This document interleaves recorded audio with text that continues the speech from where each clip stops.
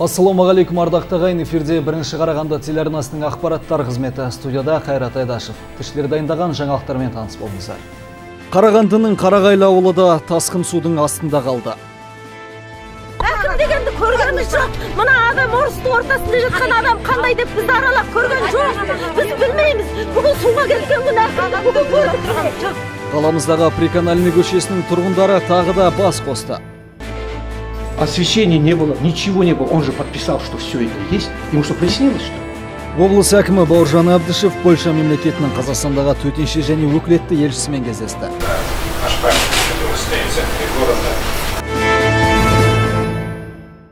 қарағандының қарағайлы ауылы тасқын судың астында қалды абырой болғанда зардап шеккендер мен мал шығыны жоқ десе де елді мекеннің бірнеше тұрғыны баспанасыз қалып отыр халық шаңырақтарының аман қалып қалмаған әкімшілікке ашулы бүгін тұрғындарға қажетті көмек көрсетпеді деген көпшілік өз наразылықтарын білдірді.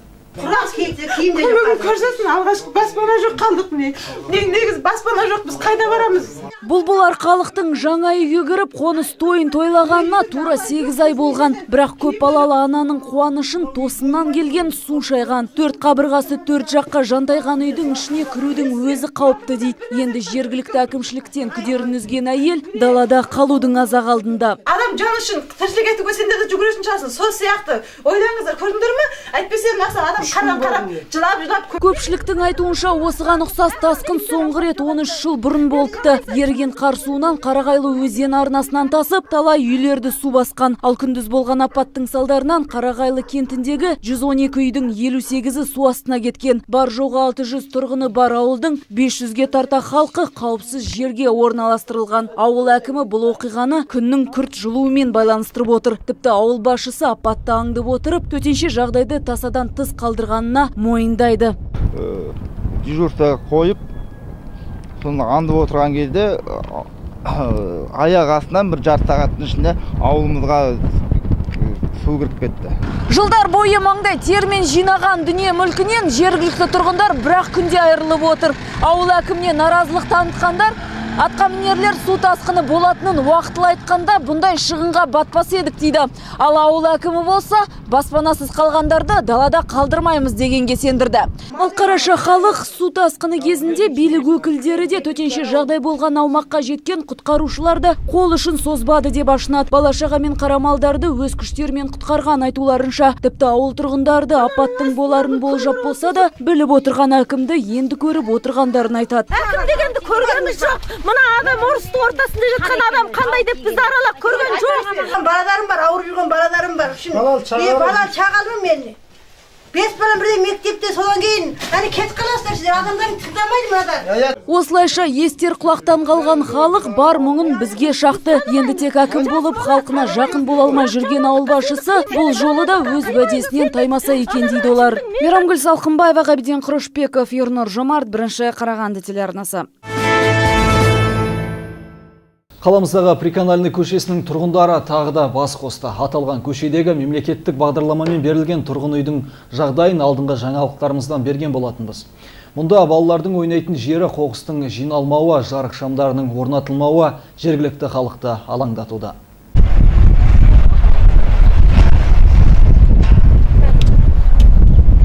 Ананың көңілі балада, баланың көңілі далада. Бұл көше ауласын мазалайтын бірнеше мәселелер бар. Көңілі даланы қалап тұрған баланы алаңдап, ана жаны шырылдауда. 2012 жылдың аяғында берілген мемлекеттік тұрғын үйдің шешілмеген мәселелері жетіп артылады. Соның басы мәселесі балалар ойнайтын ауланың лас күйінде, қоқыстардың дер кезінде жиналмауы дейді тұрғын Арманай Сүлейменова.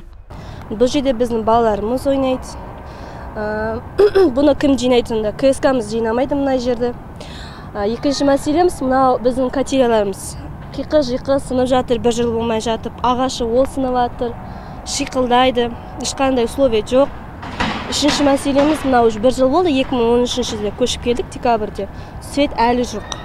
Тұрғындардың жоғарыда көтерген мәселелерін білем және оған бейжай қарамаймын дейді. Осы көшені өз қарамағына алған жилсоцсервис жауапкершілігі шектеулі серіктестігінің басшысы нұртай ашляевтың айтуынша үйді бастаған кезден ақ проблемалар санына шек жоқ. Салған құрылыс компаниясы белгісіз себептерден жұмыстарын аяқтамай кеткен. Бірінші екінші үшінші блок секцияларына адам тұруға мүлдем жағдай жасалмаған. Көпшіліктің пікірінше ол компания банкротқа ұшыраған. А сколько можно повторять, что когда-то подрядчик убежал? Во-первых, любой, любой ру- руководитель, который осуществляет надзор, он знает, кто убежит. Он заранее, это с его молчаливого согласия происходит. Вот это откровенно, я за эти слова готов ответить. Не может такого быть, чтобы человек не знал. Не может такого быть, что руководитель, э, ну, что подноготную не знал он, что ли. И потом, сколько можно, в конце концов, тот убежал, но подписал акт приема он, он же подписал, что ваш дом готов. И лифт, и э, горячее водоснабжение в доме, в подъездах, у вас его не было. И освещение тоже. Освещения не было, ничего не было. Он же подписал, что все это есть. Ему что, приснилось, что ли? Ал Қарағанды қалалық құрылыс бөлімі бастығының орынбасары ауланың осы күнге дейін бітпеген жұмыстарының себебін былай түсіндіруде.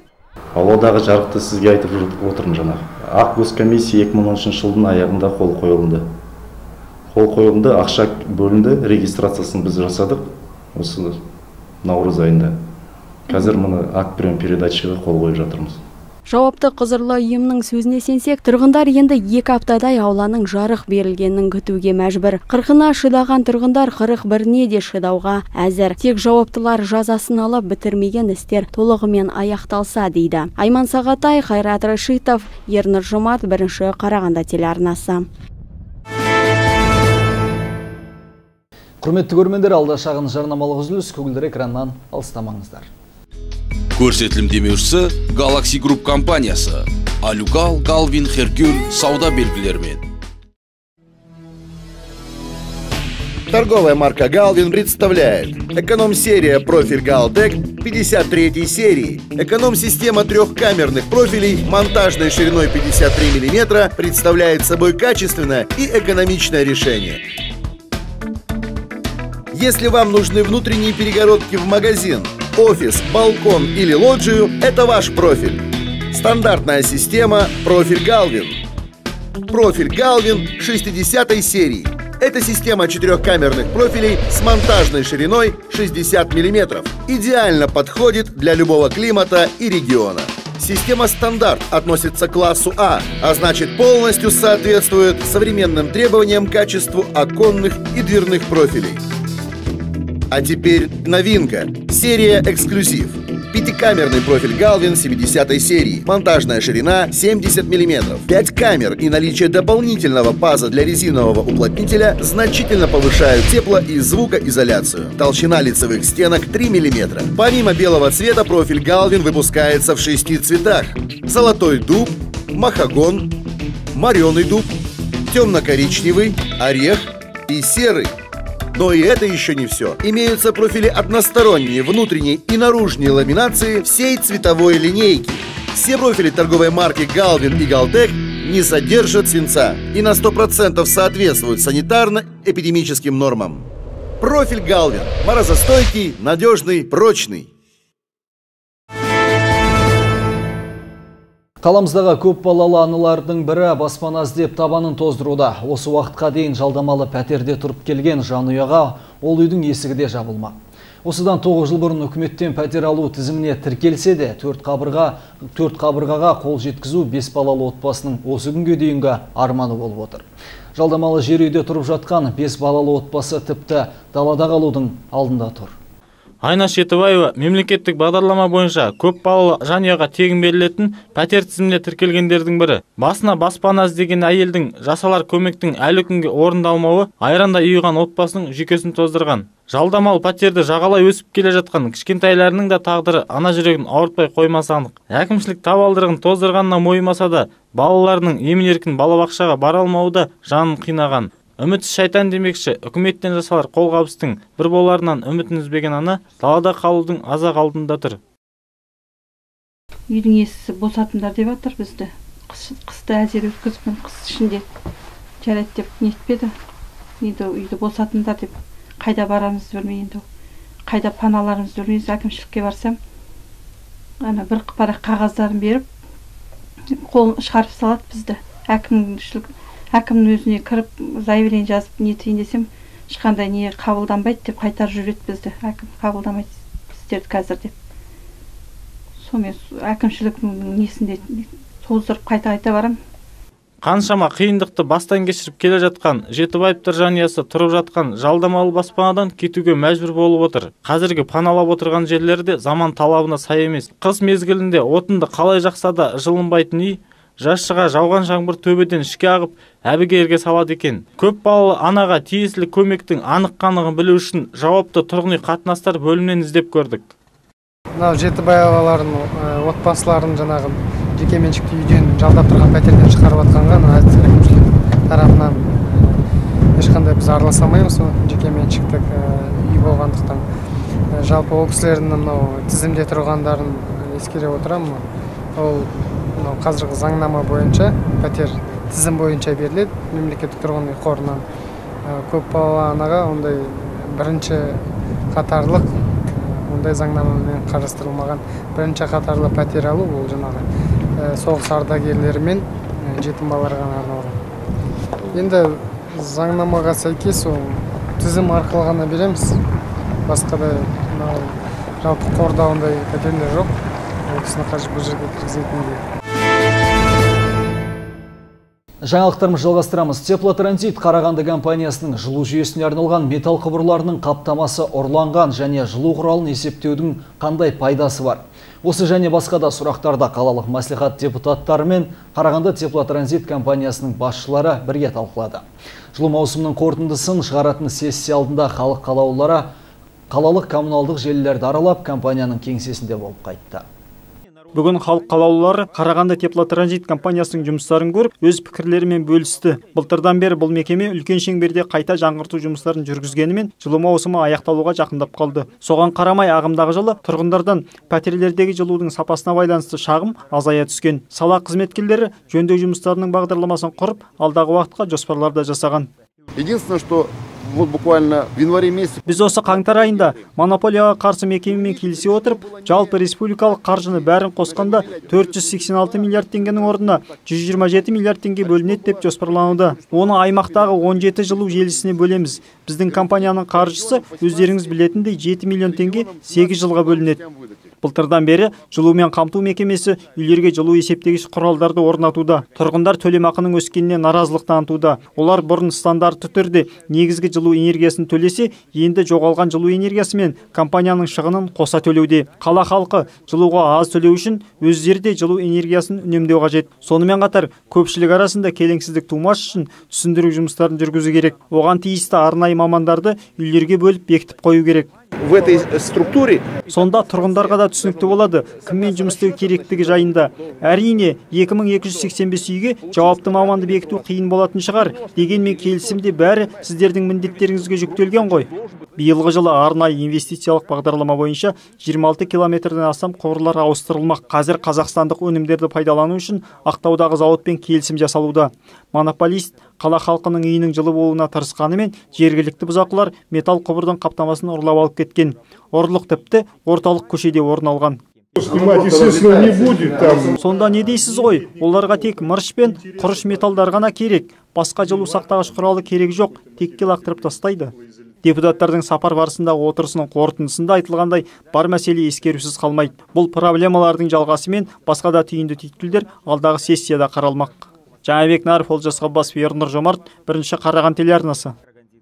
Облыс әкімі бауыржан әбдішев польша мемлекетінің қазақстандағы төтенше және өкілетті елшісімен кездесті. Жиында биылғы жылдың қыркүйегінде болатын екі елдің арасындағы аймақаралық форумның алдағы жоспарлары жайлы сөз қозғады. Толығырақ тілші бейнематериалында.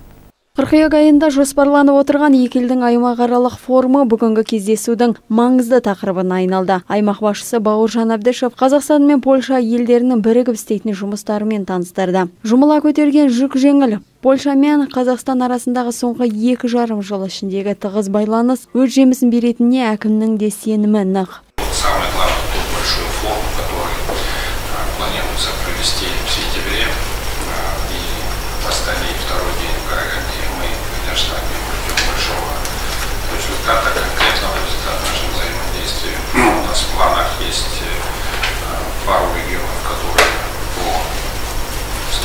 Экономики похожа на наш регион. С ними стать побратимами. Одна из них это ваша родина, господин посол. Да. Так что убежден, что ваш визит это э, придаст еще больше импульса тем отношениям. Самое главное, хотел отметить, что мы реально имеем сегодня возможность наладить Қазақстанда бар ірі өндірістер Польшада жоқ болғанымен олардың кіші және орта бизнесте беретін тәжірибелері мол. Алдағы форум бірнеше жоспарлардың жүзеге асыруына өз септігін тигізеді дейді Яцек Ключковский. Я знаю, что ваш президент ставит сильный Қазақстанның елбасы кіші және орта бизнесті дамытуды басты назарда ұстап, бұл сала Қазақстан мен Польшаның экономикалық дамуына көп үлесін қоспақ. Алда болатын форум қарым-қатынастарымызды нығайтады деген сенімдемін. Форумның соңында қос тараптың өкілдері құрмет ретінде бір-біріне сыйлықтарын табыстады. Айман Сағатай, Айнын Жақан, Ерні Жомарт, бірінші Қарағанды телеарнасы. Ағымдағы айдың бір мен үш аралығын қамтыған қаламыздағы жоғарғы оқу орындары мен колледждерінің талапкер 2014 дәстүрлі көрмесі өз жалғасын табуда. Қазақстанның болашағы үшін жастар қозғалысы қоғамдық бірлестігі мен облыстық білім департаменті бастамасы қолға алған шара мақсаты мектеп түлектеріне болашақ мамандық пен оқу орнын таңдауға көмектесу. Жеті мыңға жуық талапкер атсалысып отырған жоба барысы ақпараттық тұрғыда мағлұмат беруге негізделген. Көрмеге ауылдық аудандар мен серіктес қалалардың талапкерлері шақырылған. Шетелде тегін білім алу бағдарламасы да тақырып аясынан тыс қалмаған. Ұйымдастырушылар болса шара мақсатын былайша түсіндірді. Талапкер 2014 көрме 2000 жылдан бастап өтіп келе жатыр бұл шараның мақсаты біздің талапкерлерге бүкіл жоғарғы оқу орындары және колледж туралы мағлұматтар алуға бұл шараға біздің қарағанды облысы және астана алматы жоғарғы оқу орындары қатысады және бүкіл қарағандының колледждері қатысады білім гранттары мен несиелерді алу оқу орындарын анықтауда талапкерлерге жасалатын таңдау әрбір қатысушыға кеңінен таныстырылды. Дәстүрлі көрменің өткізілу барысы елбасымыз нұрсұлтан әбішұлы назарбаевтың биылғы жолдауымен тікелей байланысты болды. Елбасымыздың жолдауы енді биыл елбасымыз өзінің жолдауында оқу орындарының саны емес сапасы көтерілсін деген. Және біздің оқушылар талапкерлеріміз білімді сапалы білім алу үшін. Сол үшін біз осындай көрмені ұйымдастырып жатырмыз. Жобаға қатысқан қаламыздан бөлек бұқар ауданы саран теміртау өңірінен келген талапкерлер осындай шараның өткізілгеніне ризашылықтарын білдірді. Ал оныншы сынып оқушысы жаслан дәстүрлі көрмені қолға алып насихаттау жұмысын жүргізіп жатқан ұйымдастырушыларға алғысын айтты. Біз осы оқу орнын бітіргендеріне үлкен мамандық таңдауға өте қатты үлес қосты бізге.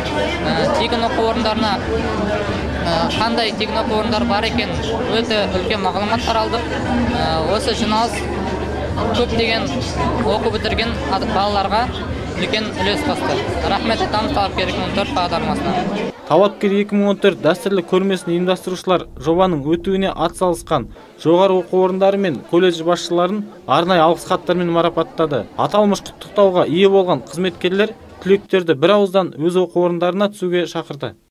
Бізде ұйымдастырушыларға көп рахметімізді айтып өзіміздің келетін студенттерімізге болашақ студенттерімізге есігіміз айқара ашық.